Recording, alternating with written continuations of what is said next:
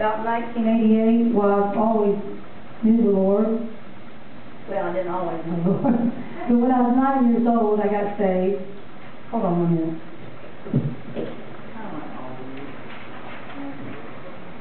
I'm trying to get my notes here all organized. I'll see just a minute. Liberty, that's right. Thank you, Jesus. God, you're good. Oh,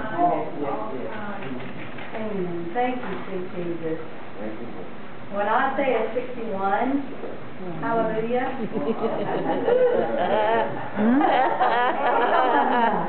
All right. You guys have a picture. Oh, yeah. Oh, boy. Oh, yeah. I was just thinking.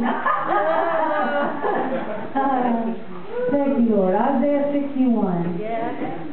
Because the Spirit of the Lord God is upon me, because he, the, the Lord has anointed me to preach good tidings to the poor, and sent me to heal the brokenhearted, to proclaim liberty to the captives, and to open the prison to those who are bound, and to proclaim the year of the Lord. This is the year of the. Amen. And the year of Jubilee. Amen. And, and the day of vengeance, as what Yes. is saying, to our God, to comfort all who mourn and to console them to mourn and Zion, to give them beauty for ashes and the oil of joy for mourning and a garment of praise for the spirit of heaviness, that they may be called the trees of righteousness and the planting of the Lord, that he is, that he may be glorified. And then on the bottom of number, um, going down to about seven, instead of your shame, you shall double honor. And instead of confusion, they shall rejoice their portion. Therefore, in the land they shall possess double. Everlasting joy shall be theirs. Amen. So that's what we're going to believe. And God has done that for me. And but it's been a process. I need to receive what God did for me. But He's going to do that for all y'all. And He has done it for all y'all. And He's continued. It's a continued thing, ain't it? Amen. we read this every day. It's not just a one day thing, right? Uh-huh. But I, I just want to share, um, there was a time in my life, I got, uh, I'm originally from Southern Ohio. Is there any Southern Ohio? Ohio? Oh, looky there, back here in the back. Southern Ohio, I'm, I'm originally from a little town called Jackson. You've heard of Johnny Cash and Jim Hurst I'm going to Jackson. Anyway. No, just kidding, but no, they did sing that song, but, but anyway, that was a song called Jackson. Well, I was from a little out, town outside of that, my daddy was a country, uh, I was from the country, and, um, um, my mother had nine children, and, uh, one of them had passed away before I was born, maybe two, two I mean, between, a little bit above me. anyway, there's so many you can count, you know? But anyway, um, but, uh, God gave my, my daddy ability to make money, and he was a cattleman and a businessman. And, um, and my mama was a God-fearing, stay-at-home mother, which she had to.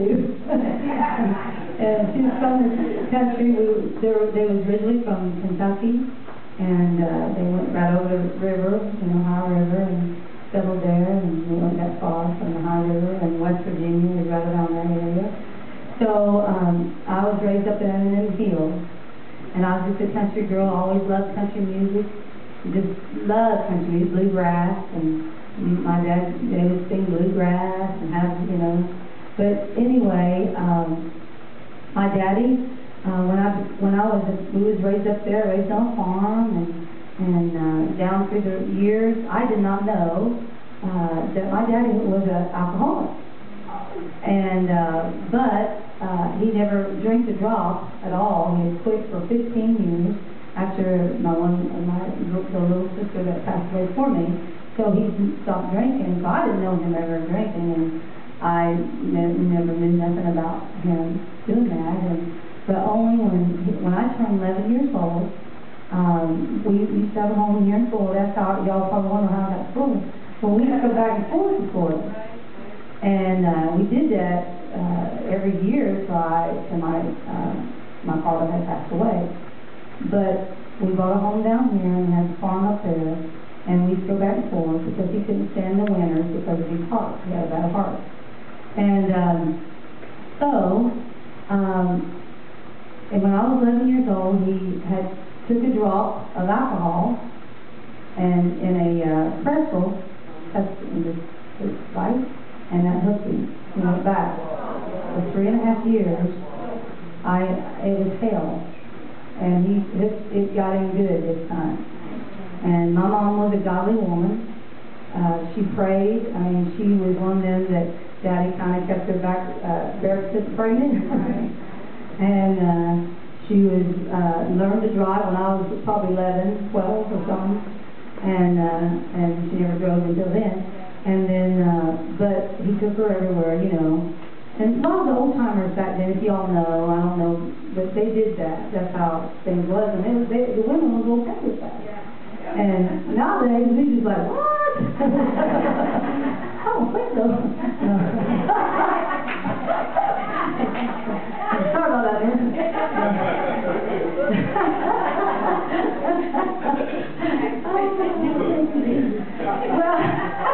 But anyway, I give myself so long. But anyway, oh, yeah, I'm gonna forget what I'm But anyway, um, moving around along, uh, she, she, she never, she never learned to drive till I was about eleven or twelve. And then, um, like I said, my father started drinking and he went, he would go off for a while and he'd get up back, he'd quit, and he tried and, and he got saved and, and he, he would just go back and forth and, and he, I remember many times that these, old timers that knew him around here and and then would go visit him and pray for him and stuff and he received Jesus. He was a humble man. He just had this demon on his back. And we've seen things that, I've seen stuff as a kid that was just, it was, you would freak out. I mean, I mean, I imagine some of you probably have, I don't know what you have to walk through, but I've seen things that, uh, he'd put his cigarettes on the floor and just leave them there and throw them on the floor and, and you'd have to put them out or pick them up and then he'd be so drunk, see, and he was a real bad alcoholic.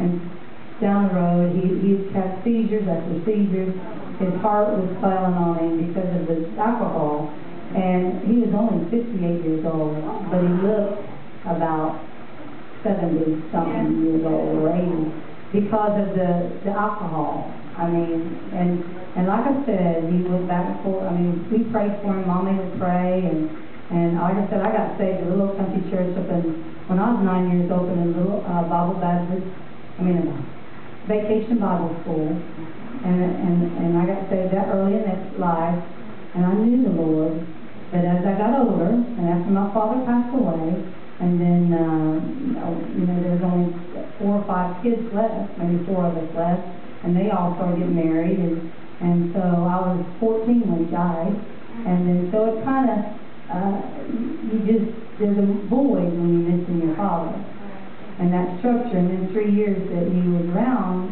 he was not really a father. He was, he didn't know how. I mean, it was, but the Lord always showed me when I was a little child that that was not my daddy.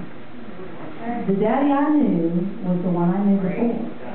And I don't know who that man was, but that was my father. And and I had such a love for him. And it was like someone had just, like God had poured a grace over me and over my heart. And actually, all of our family and all the people that knew him knew that wasn't that wasn't Cy. That was his name, Cyrus Manning. And that wasn't him. So, and so there was a grace and knew that the Lord that wasn't that wasn't them people. That that's not them people. So when you look at someone out there, then people that on alcohol or, or crack cocaine or been rocky, that is not That's a demon. That's right. I didn't understand as a child. My mom, we did, we, I grew up Baptist. I didn't understand things like I do now. And even that, you know, you know, it, it's power of God instead of fruit. So, anyway, down through the years, I got married at an early age of seventeen. I, I married a man that was abusive and alcohol, he was an alcohol and drugs himself. So I married him at an early age. Everybody warned me. Everybody told me, Sharon, don't marry him. Don't do it, don't do it, don't do it. I'm like, but I love you. I love you. And I couldn't see for looking, you know.